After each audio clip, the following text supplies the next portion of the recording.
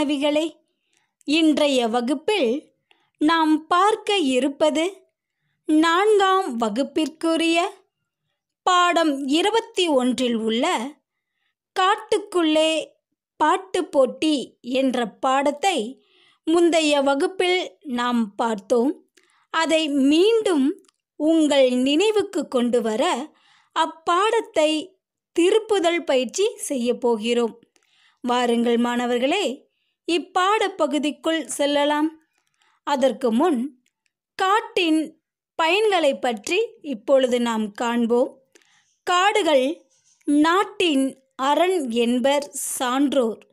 அக்காடுகளை பாதுகாக்க மாநில அரசும் மத்திய அரசும் அரும்பாடுபட்டு வருகின்றன. காடுகளினால் கிடைக்கும் நட்பலன்கள் நமக்கு உண்டாகும் பலன்களை நாம் அறிந்து கொள்ள வேண்டும். மேலும் காடுகளை பசுமை பொன் என்று அழைத்தால் அதில் தவறில்லை. ஏனென்றால் காடுகளின் பயனை அறிந்தே நம் மத்திய அரசு வனத்துறை பாதுகாப்பு என்ற ஒரு அமைச்சகத்தையே நியமித்து உள்ளது. விறகுகளுக்காகவும் ஏனைய மர சாமான்களை உருவாக்கவும் நாம் வெட்டி அழித்த காடுகள் ஒன்றல்ல இரண்டல்ல. காடுகள் அழிந்து போகுமாயின் அது நாட்டை பாதிக்கும் என்பதை நாம் புரிந்து கொள்ள வேண்டும். அரசாங்கத்திற்கு மட்டுமல்ல காடுகளை பாதுகாக்கும் பொறுப்பு நம் யாவருக்கும் உண்டு. மேலும் காடுகளின் பயன்கள் என்னவென்றால் காடுகளே மழைக்கு முக்கிய காரணமாக விளங்குகிறது என்பதை நாம் புரிந்து கொள்ள வேண்டும். அடர்ந்த மரங்களை கொண்ட காடுகளே கார் மேகங்களை குளிர்வித்து மழையை பொழிவிக்கின்றன.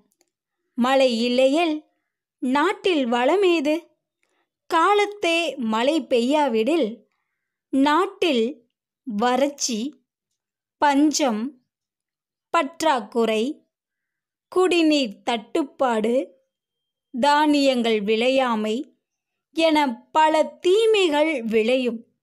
மேலும் காடுகளில் உள்ள வேர்கள் மண்ணில் ஊடுருவி இருப்பதாலேயே மண்ணின் கெட்டித்தன்மை மாறாது இருக்கிறது. மரங்கள் இல்லை என்றால் மண் இலகி ஆங்காங்கே நிலச்சரிவு புதை மணல் என்ற நிலையாகிவிடும். இது தவிர காடுகள் மூலிகைகளின் பொக்கிசங்களாகும் சித்த மருத்துவத்தில் பயன்படும் அனைத்து மூலிகைகளையும் தருவது காடுகளே என்பதை நாம் மறந்துவிடக்கூடாது அது மட்டுமல்லாமல் தேன் ஏலம் மிளகு காய் கனிகள் போன்ற உணவு பயிர்களை தருவது காடுகளே. மரச்சாமான்கள் செய்ய பயன்படும் தேக்கு கருங்காலி போன்ற மரங்களை விளைவிப்பதும் காடுகளே. பறவைகளின் சரணாலயங்களாகவும் விலங்குகளின் சரணாலயங்களாகவும் விளங்குவது காடுகளே.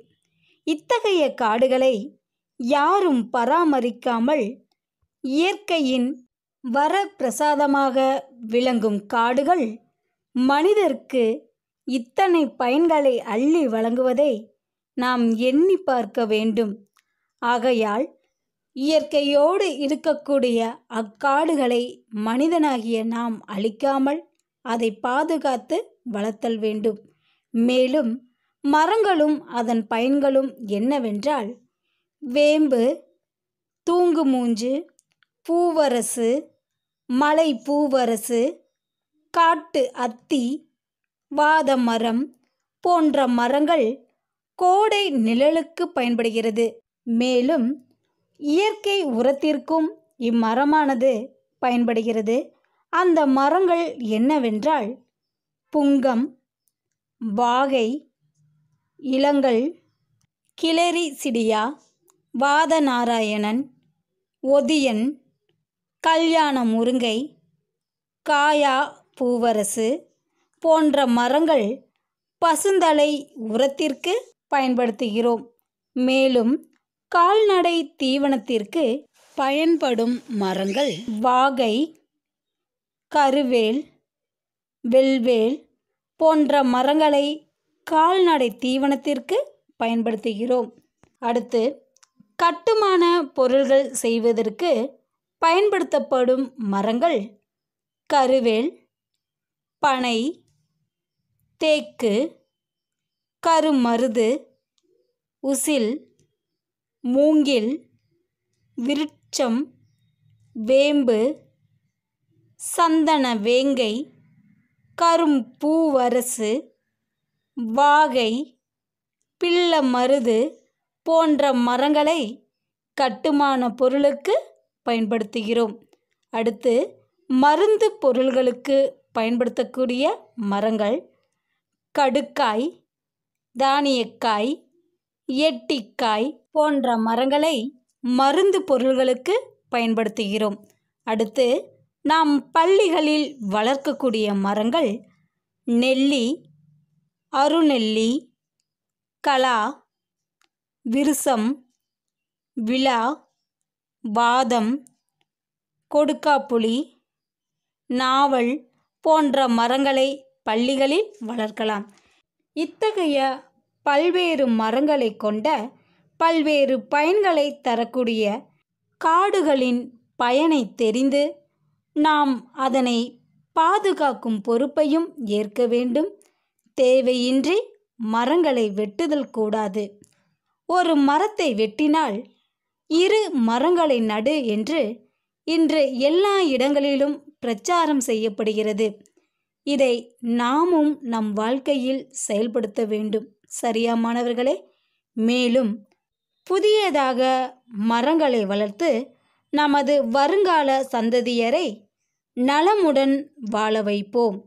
நல்ல காற்றையும் மழையையும் உணவையும் தந்து மனிதர்களை வாழ வைக்கும் காடுகளை பாதுகாத்து அதற்கு நன்றியை செலுத்துவோம். என் அன்பு மாணவ செல்வங்களே காட்டுக்குள்ளே பாட்டுப் போட்டி என்ற பாடப்பகுதியில் காடுகளினால் ஏற்படும் பயன்கள் என்னென்ன என்பதை நாம் அறிந்து கொண்டோம் அல்லவா? அது நமக்கு மட்டுமா பல பயன்களை தருகிறது? அக்காட்டில் உள்ள விலங்குகளுக்கும் நிறைய பயன்களை தருகிறது. அதனால்தான் அந்த விலங்குகள் அக்காட்டிற்குள்ளே சுதந்திரமாக சுற்றி மகிழ்ச்சியோடு இருக்கின்றன. என் அன்பு மாணவ செல்வங்களே இப்பாடப்பகுதிக்குள் செல்லலாமா?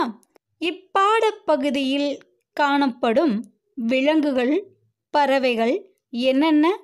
யானை குரங்கு கரடி முயல் புலி என்ற விலங்குகளும் அடுத்து பறவைகள் மயில் குயில் குருவி சேவல் கொக்கு கழுகு மரங்கொத்தி என்ற பறவைகளும் விலங்குகளும் மகிழ்ச்சியுடன் அக்காட்டில் வாழ்ந்து வந்தன. அப்போது அக்காட்டில் பாட்டு போட்டி நடத்த விலங்குகளும் பறவைகளும் முடிவெடுத்தன. அப்போது ஒரு நாள் காடே அமைதியாய் இருந்தது. வீசிய காற்றில் மரக்கிளைகள் அசைந்தன. இலைகள் உரசும் சத்தம் தவிர மற்றபடி எங்கும் ஒரே அமைதி. சேவல் ஒன்று தயங்கியபடி வந்தது. அந்த சேவல் சுற்றும் முற்றும் பார்த்தது. மெதுவாய் நடந்து செடி கொடிகளின் மறைவிற்கு வந்தது. யாராவது தன்னை பார்க்கிறார்களா என நோட்டமிட்டது. பின் யாரும் தன்னை பார்க்கவில்லை என்பதை உறுதி செய்த சேவல் கொக் கொக் கொக் கொக்கரக்கோ கோ என்று மெலிதாய் குரல் எழுப்பியது.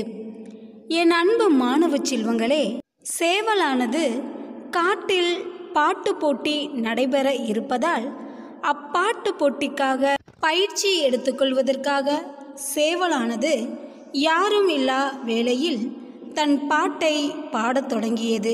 அது எவ்வாறு பாடியது என்றால் வானத்தை பார்த்து தலையை உயர்த்தி கொக்கரக்கோ கோ என ராகம் போட்டு பாடியது. அப்போது திடீரென சிரிப்பொலி ஒன்று கேட்டது. சட்டென பாட்டை நிறுத்தியது சேவல். சுற்றிலும் யாருமே இல்லை. யார் சிரித்தது? லேசாய் தைரியத்தை வரவழைத்து கொண்டே சேவல் யாரது? என்று கேட்டது. நான் தான் மேலே இருக்கேன் பாரு என்று மேலிருந்து குரல் வந்தது. சேவலானது பாடத் தொடங்கியதும் திடீரென என்ன ஒலி கேட்டது? சிரிப்பொலி கேட்டது அல்லவா? அந்த சிரிப்பொலியை கேட்டதும் சேவல் தன் பாட்டை சட்டென நிறுத்தியது. சுற்றிலும் யாருமே இல்லை.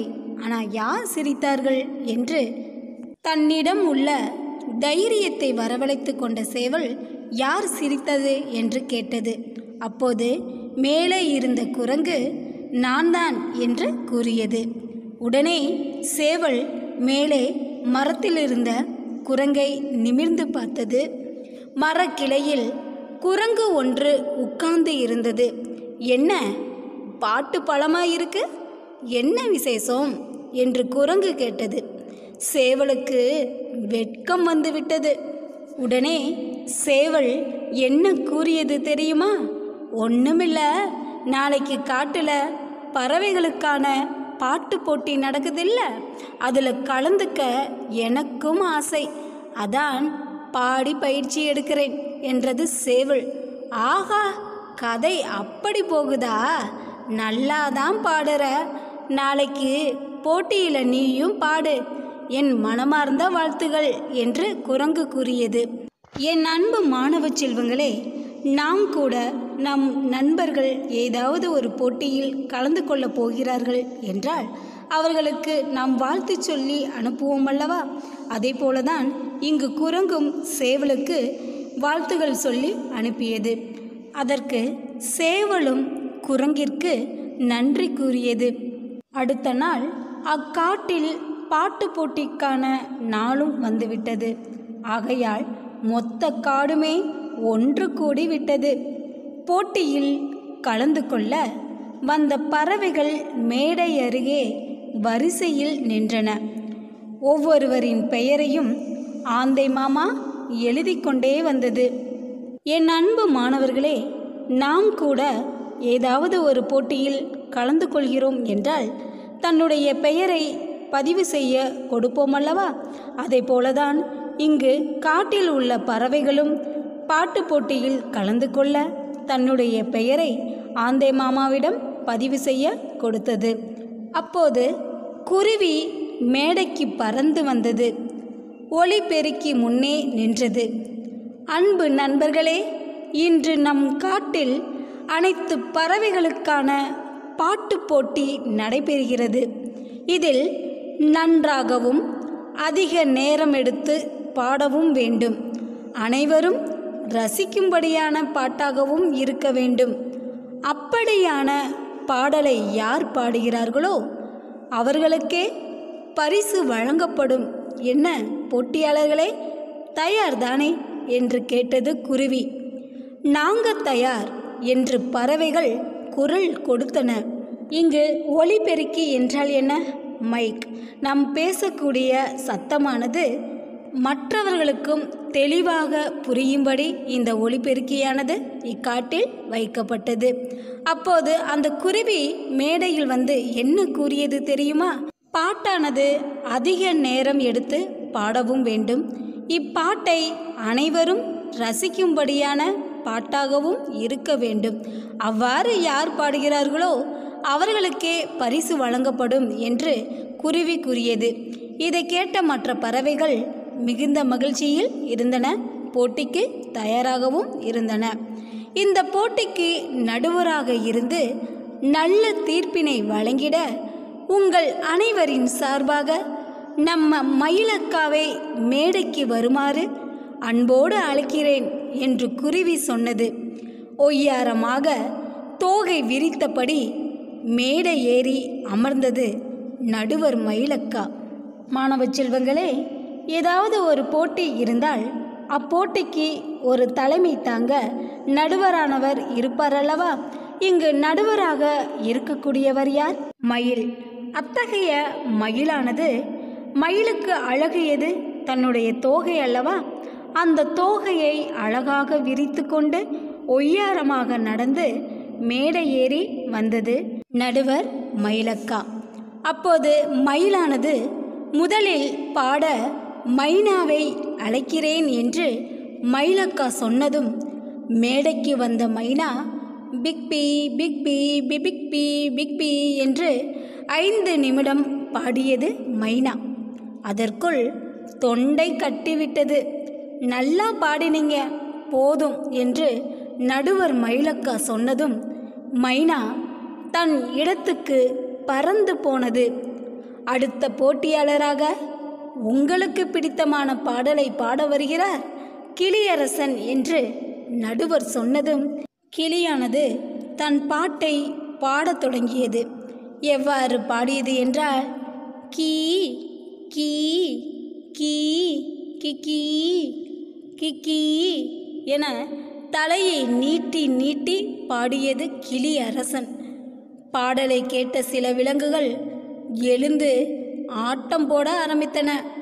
விசில் சத்தம் விண்ணை தொட்டது. பத்து நிமிடங்கள் தொடர்ந்து பாடிய கிளிக்கு மூச்சு முட்டியது. பாட்டை நிறுத்திவிட்டு கீழே இறங்கி வந்தது. என் அன்பு மாணவ செல்வங்களே இங்கு மைனா பாடிய நேரம் என்ன? ஐந்து நிமிடம் அல்லவா? அதே போல கிளியும் தன் பாட்டை பத்து நிமிடங்கள் தொடர்ந்து பாடிய கிளிக்கு மூச்சு முட்டியது. அதனால் அப்பாட்டை நிறுத்திவிட்டு கீழே இறங்கி வந்தது கிளி. அடுத்து நம்ம போட்டியாளர் சேவல் வாங்க மேடைக்கு என்று அறிவிப்பு வந்ததும் பக்கத்தில் இருந்த குரங்கை பார்த்தபடியே மேடைக்கு வந்தது சேவல். ஏனென்றால் சேவல் பாடியதை குரங்கு கேட்டது அல்லவா? அதற்கு வாழ்த்தும் சொன்னது அல்லவா? அதை நினைத்து கொண்டே அந்த குரங்கை பார்த்தபடியே சேவலானது மேடைக்கு வந்தது. அது எவ்வாறு பாடத் தொடங்கியது என்றால் கொக் கொக் கொக்கரக்கோ கோ என்று பாடத் தொடங்கியது. அந்த சேவலானது பாடத் தொடங்கியதும் தூங்கிக் கொண்டிருந்த ஒன்றிரண்டு கரடிகளும் விழித்து கொண்டன. சேவலை பார்த்து தூங்கிறவங்களை எழுப்புறதே உன் பாட்டா இருக்கு. அருமையான பாட்டு. போதும்பா நிப்பாட்டு என்று மற்ற பறவைகள் கத்தின. சேவல் வெக்கத்தோடு கீழே இறங்கியது. என் அன்பு மாணவ செல்வங்களே கிராமப்புறங்களில் நிறைய சேவல்கள் கோழிகள் வளர்க்கப்படும் அல்லவா? அப்பொழுது அந்த சேவலானது அதிகாலையில் எழுந்து கூவத் தொடங்கும். அப்போது அந்த சேவலின் ஒளியை கேட்டுதான் அக்கிராமப்புற மக்கள் தன் நேரத்தை அறிந்து கொண்டு காலையில் எழுந்து தன் பணிகளை செய்யத் தொடங்குவார்கள். அதேபோல இங்கு சேவலானது பாடத் தொடங்கியதும் தூங்கிக் கொண்டிருந்த அந்த கரடிகளும் விழித்து கொண்டு தூங்குறவங்களை எழுப்புறதே உன் பாட்டாய் இருக்கு. போதும்பா நிப்பாட்டு என்று அந்த கரடிகள் கூறியது. இதை கேட்ட மற்ற பறவைகளும் கத்தின. அதனால் சேவலானது வெக்கப்பட்டு கொண்டு கீழே இறங்கிவிட்டது. என் அன்பு மாணவ செல்வங்களே ஒரு மனிதன் தன் திறமையை வெளிப்படுத்த வேண்டிய ஒரு சூழ்நிலை ஏற்பட்டால் அந்த இடத்தில் தன் திறமையை எந்த இடையூறுகள் வந்தாலும் அதனை வெளிப்படுத்த வேண்டும். அப்போதுதான் அம்மனிதன் தன் வெற்றியை அடைய முடியும். ஆனால் இச்சேவலானது மற்றவர்கள் தன்னை கேலி செய்கிறார்கள் என்று நினைத்துக்கொண்டு வெக்கப்பட்டு கொண்டு தன் பாட்டை நிறுத்தி கீழே இறங்கிவிட்டது. அது தவறுதானே மாணவர்களே? ஆனால் அதற்கு அடுத்தபடியாக படபடவென இறக்கைகளை அடித்தபடி மேடை ஏறியது கழுகு. தலையை முன்னும் பின்னுமாய் ஆட்டிக்கொண்டே பாடியது கழுகு. அது எவ்வாறு பாடியது என்றால் கொவ் கொவ் கொவ் என்று காடெங்கும் எதிரொலித்தது பாட்டு. இப்பாட்டை கேட்ட மான்குட்டிகள் பயந்து போய்விட்டன. சில பயத்தில் அழுதன. சில எழுந்து ஓடத் தொடங்கின. இதை பார்த்து சிரித்த யானைக்கு கண்ணில் நீரே வந்துவிட்டது. இங்கு யார் பாட்டை கேட்டு மான்குட்டிகள் பயந்து போய்விட்டன? கழுகின் பாட்டை கேட்டு பயந்து போய்விட்டன. அந்த மான்குட்டிகள் மட்டும் பயப்படவில்லை. மற்ற சில விலங்குகளும் கழுகின் பாட்டை கேட்டு எழுந்து ஓடவே தொடங்கிவிட்டதாம். இதை பார்த்த யானைக்கு கண்களில் நீர் வரும் அளவிற்கு யானையானது சிரித்ததாம். அடுத்து இப்போ பாடப் போகிறது நம்ம கொக்கு. என்று மயிலக்கா சொன்னதும் கைத்தட்டல் ஓசை பலமாய் எழுந்தது. மேடைக்கு வந்த கொக்கு கர் கர் கர் என்று இரண்டு முறை ராகம் போட்டு இழுத்தது. என்னாச்சு? பாடு பாடு. கூட்டத்தில் ஒரே கூச்சல். அதற்கு கொக்கு என்ன கூறியது தெரியுமா? இம்பட்டுத்தான் என் பாட்டு என்று சிரித்தபடியே பறந்து போனது கொக்கு. அடுத்து குயில் மேடைக்கு வந்தது. உற்சாகமாய் எல்லாமும் எழுந்து நின்று கைகளை தட்டின. குயிலுக்கு நிறைய விலங்குகள் ரசிகர்களாய் இருந்தன. ஒவ்வொன்றாக எழுந்து நின்று குயில் குமாரிக்கு பூங்கொத்துகளை கொடுத்தன. வாழ்த்துகளை சொல்லி அனுப்பி வைத்தன. குயிலுக்கு ரொம்பவும் பெருமை தாங்கவில்லை. குதித்து குதித்து மேடை ஏறியது. என் அன்பு மாணவ செல்வங்களே குயிலின் குரலுக்கு நாம் மட்டுமா ரசிகர்கள்? இந்த விலங்கு கூட்டமும் ரசிகர்களாய் இருந்தன. நமக்கு பிடித்தமானவர்கள் அங்கு வந்தால் நாம் எவ்வாறு அவர்களை வரவேற்போம்? அதுபோலதான் இங்கு குயிலானது மேடை ஏறி பாடத் தொடங்கும் முன்பே எல்லா விலங்குகளும் எழுந்து நின்று தன் கைகளை உற்சாகமாக அதாவது மகிழ்ச்சியோடு கைகளை தட்டி அக்குயிலை வரவேற்றது. அது மட்டுமா? அந்த குயிலுக்கு பூங்கொத்துகளை கொடுத்து வாழ்த்துக்களை சொல்லி அனுப்பி வைத்தன. இதனால் அந்த குயிலுக்கு மிகவும் பெருமை ஏற்பட்டது. அந்த பெருமையில் மேடைக்கு ஏறும்போது குதித்து குதித்து ஏறியது. அது எவ்வாறு பாடத் தொடங்கியது என்றால் கூ குக்கு குக்கு கூ குக்கு கூ என்று குயில் பாடத் தொடங்கியதும் மொத்த விலங்கு கூட்டமும் எழுந்து ஆடத் தொடங்கியன. இதனால் குயிலானது மீண்டும் மீண்டும் தன் இசையை கூட்டிக்கொண்டே கூ கூ குக்கு கூ கூ என்று ஐந்து பத்து பதினைந்து நிமிடம் வரை குயில் பாடியது. ஆனால் அக்குயிலால் அதற்கு மேல் மூச்சு திணறவே பாடலை நிறுத்திவிட்டு இறங்கி வந்தது குயில். இன்னும் கொஞ்சம் நேரம் பாடு குயிலு என்று கூட்டத்தில் இருந்து ரசிகர்கள் குரல் எழுப்பினார்கள். ஆனால் குயிலால் பாட முடியாத காரணத்தால் அது மேடையை விட்டு கீழே இறங்கி வந்தது. அடுத்து நமது போட்டியின் கடைசி போட்டியாளராக காக்கா வருகிறார். மொத்த கூட்டமும் அமைதியானது. பெரிசா பாட வந்துருச்சு என்றது மரங்கொத்தி. நீ எல்லாம் பாடலைன்னு யாரு கேட்டா? என்று வம்புக்கு இழுத்தது நாரை. ஆனாலும் காக்கா எதையும் தன் காதில் கேட்டுக்கொள்ளாமல் தயங்கி நிற்காமல் மேடைக்கு துணிச்சலாய் வந்தது. ஒரே கூச்சல். கூச்சல் என்றால் என்ன? சத்தம். நீ ரொம்ப நல்லா பாடுவ. போதும்டா சாமி என்று சில விலங்குகள் கத்தின. அப்போது நடுவர் மயிலக்கா அனைவரையும் சத்தம் போடாமல் அமைதியாய் உட்கார வைத்தது. காக்கா மெல்ல தன் குரலை செருமியது. கா கா கா என்று மெல்லிய குரலில் முதலில் பாட ஆரம்பித்தது. கூச்சல் போட்டு பாட விடாமல் தடுத்த விலங்குகள் சற்றே ஆச்சரியத்தோடு கவனித்தன. கா கா கா என்று ஓர் எழுத்திலேயே புது புது ராக ஆலாபனைகள் சுருதி கூட்டி பாடிக்கொண்டே இருந்தது காக்கா. ஏம்பா நல்லா தான் பாடுது என்றன பாட்டை கேட்ட விலங்குகள். ககா கக கா கக ககா கா என்று பாடலில் சுருதியை கூட்டிக்கொண்டே பாடியது காக்கா.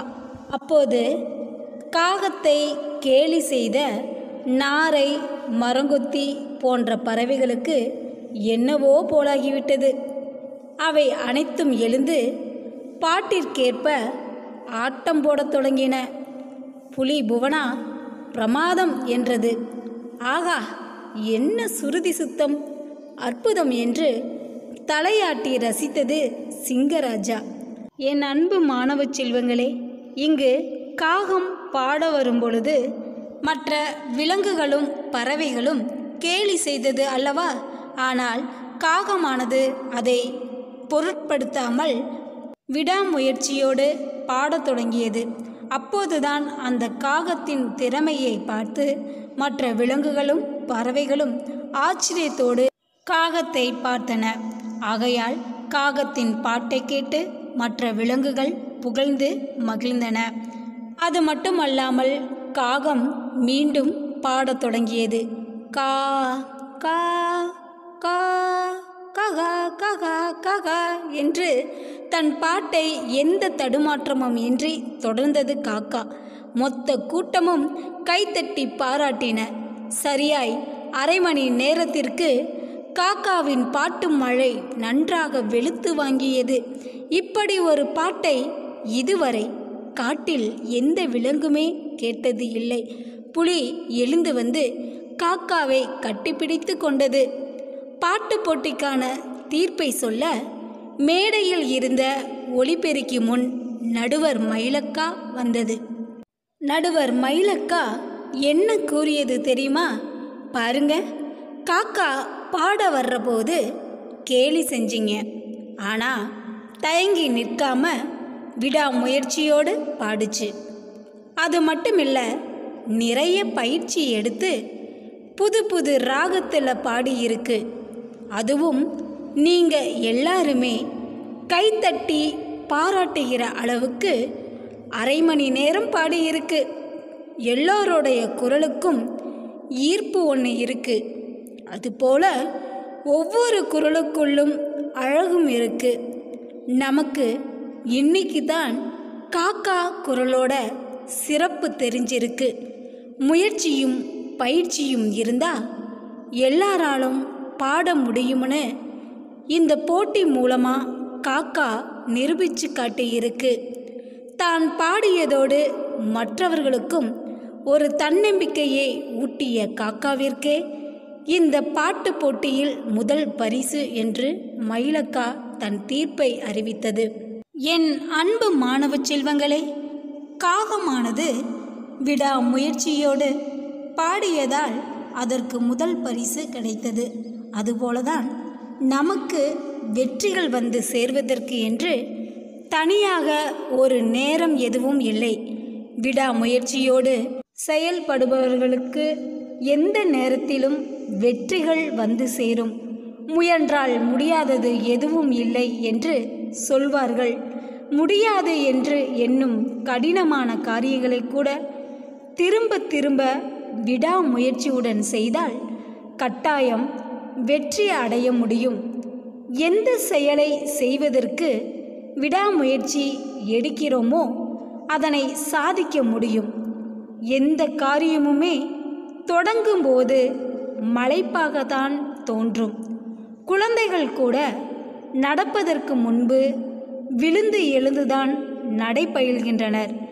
கீழே விழுகிறோமே என்று அவர்கள் முயற்சிக்காமல் விடுவது இல்லை. விடாமுயற்சி மட்டும் இல்லாவிட்டால் பல சாதனைகள் நிகழ்ந்திருக்காது.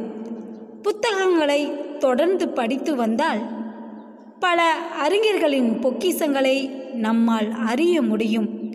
நாம் எல்லாம் படித்து முடித்துவிட்டோம் என்று எண்ணுவது சுலபம். ஆனால் கற்றது கைமண் அளவுதான் என்று புத்தகங்களை படிக்கும்போதுதான் புரியும். ஒவ்வொரு சாதனையாளரும் ஆரம்பத்தில் எவ்வளவு சோதனைகளை சந்தித்து இருக்கிறார்கள். அரசியல் ஆராய்ச்சி இலக்கியம் இசை என்று எந்த துறையிலும் புகழ் பெறுவதற்கு எத்தனை முறை தோல்வியை தழுவி இருக்கிறார்கள் என்பதும் தெரியும்.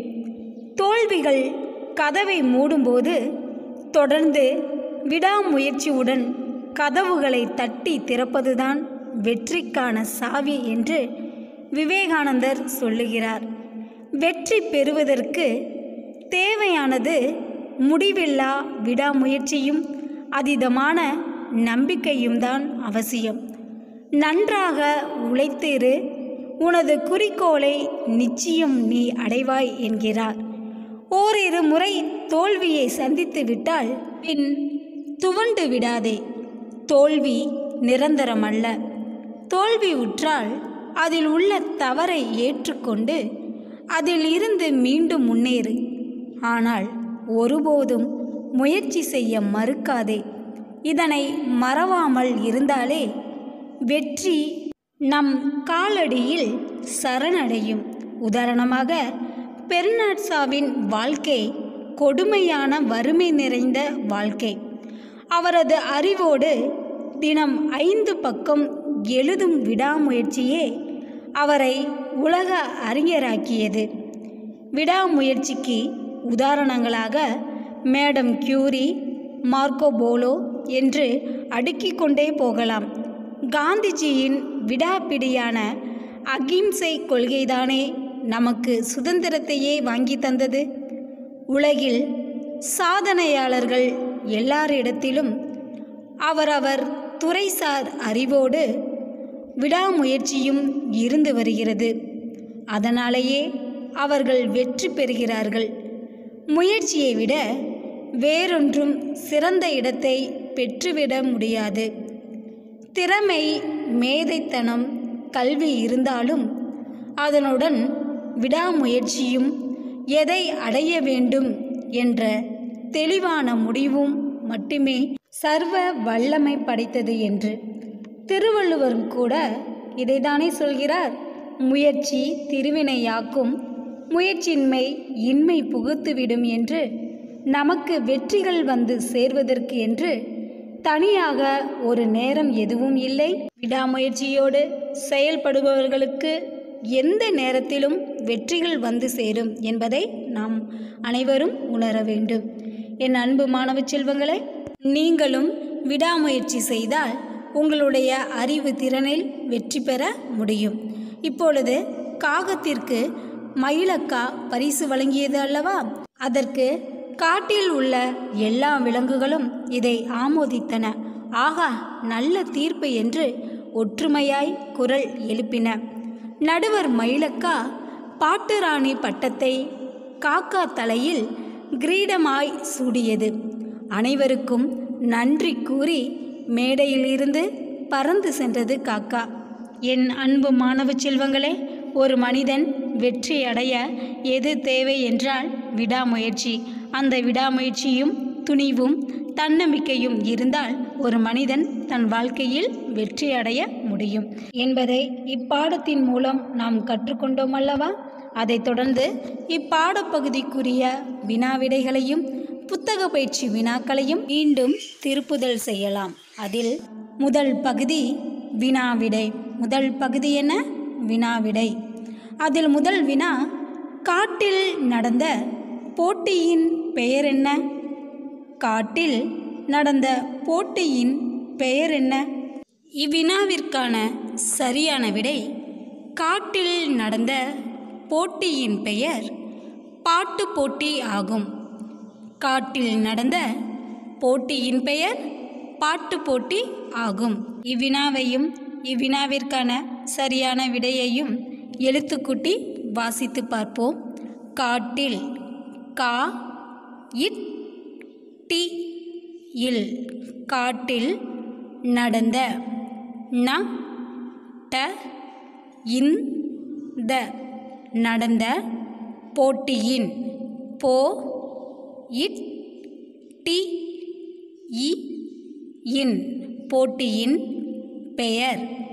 பே ய இர். பெயர் என்ன? ஏ இன் ந என்ன? காட்டில் நடந்த போட்டியின் பெயர் என்ன?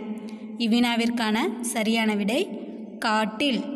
கா இட் டி இல். காட்டில் நடந்த ந ட இந்த நடந்த போட்டியின் போ இட் டி இ இன் போட்டியின் பெயர் பெ ய இர் பெயர் பாட்டு போட்டி ஆகும். பா இட் டு இப் பாட்டு போட்டி. போ இட் டி போட்டி ஆகும். ஆ கு இம் ஆகும். காட்டில் நடந்த போட்டியின் பெயர் பாட்டு போட்டி ஆகும். வினாயன் இரண்டு. காக்காவின் பாட்டை கேட்ட சிங்கராஜா என்ன கூறினார்?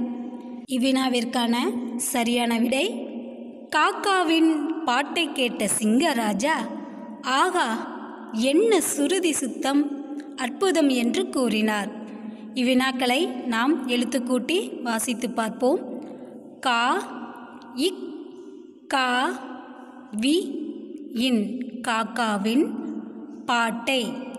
பா இட் டை இக் பாட்டை கேட்ட கே இட் ட கேட்ட சிங்கராஜா. சி. இங் க ரா. ஜா. சிங்கராஜா. என்ன? ஏ. இன். ந. என்ன? கூறினார். கூ. ரி நா. எர் கூறினார். காக்காவின் பாட்டை கேட்ட சிங்கராஜா என்ன கூறினார்? இவ்வினாவிற்கான சரியான விடை காக்காவின் கா இக் கா வி இன் காக்காவின் பாட்டை பா இட் டை இக் பாட்டை கேட்ட கே இட் ட கேட்ட சிங்கராஜா சி இங் க ரா ஜா. சிங்கராஜா ஆகா ஆ கா ஆகா என்ன ஏ இன் ந என்ன சுருதி சு ரு தி சுருதி சுத்தம் சு இத் த இம் சுத்தம் அற்புதம் அ இர் பு த இம் அற்புதம் என்று ஏ இன் என்று கூறினார். கு ரி நா ஏர் கூறினார். காக்காவின் பாட்டை கேட்ட சிங்கராஜா ஆகா என்ன சுருதி சுத்தம் அற்புதம் என்று கூறினார். வினாயன் மூன்று பாட்டு ராணி பட்டம் பெற்ற பறவை எது இவ்வினாவிற்கான சரியான விடை பாட்டு ராணி பட்டம் பெற்ற பறவை காகம் ஆகும். இவ்வினாக்களையும் விடைகளையும் எழுத்துக்கூட்டி வாசித்து பார்ப்போம். பாட்டு ராணி. பா இட் பாட்டு ரா நீ. ராணி. பாட்டு ராணி பட்டம். ப இட் ட இம். பட்டம் பெற்ற பெ இட் பெற்ற பறவை. ப ர வை. பறவை எது? ஏ து. எது? பாட்டுராணி பட்டம் பெற்ற பறவை எது? இவ்வினாவிற்கான சரியான விடை பாட்டுராணி பா இட் பாட்டு ரா நீ ராணி. பாட்டுராணி பட்டம் பா இட் ட இம். பட்டம் பெற்ற பே இட் பெற்ற பறவை. ப ர வை. பறவை காகம். கா க இம். காகம் ஆகும். ஆ கு இம். ஆகும். பாட்டுராணி பட்டம் பெற்ற பறவை காகம் ஆகும் என் அன்பு மாணவர்களே இவ்வினா விடைகளை நீங்களும் வரப்போகும் தேர்விற்காக நன்கு படித்து கொள்ளுங்கள். அதைத் தொடர்ந்து புத்தக பயிற்சி வினாக்களை பார்க்கலாம். புதிர்களை படிப்போம் விடை காண்போம். படத்துடன் பொருத்துவோம். இதில் முதல் வினா இரவில் உணவு தேடிடுவேன் தலைகீழாக தொங்கிடுவேன் நான் யார்? இரவில் உணவு தேடிடுவேன் தலைகீழாக தொங்கிடுவேன் நான் யார்? இவ்வினாவிற்கான சரியான விடை என்ன? வௌவால்.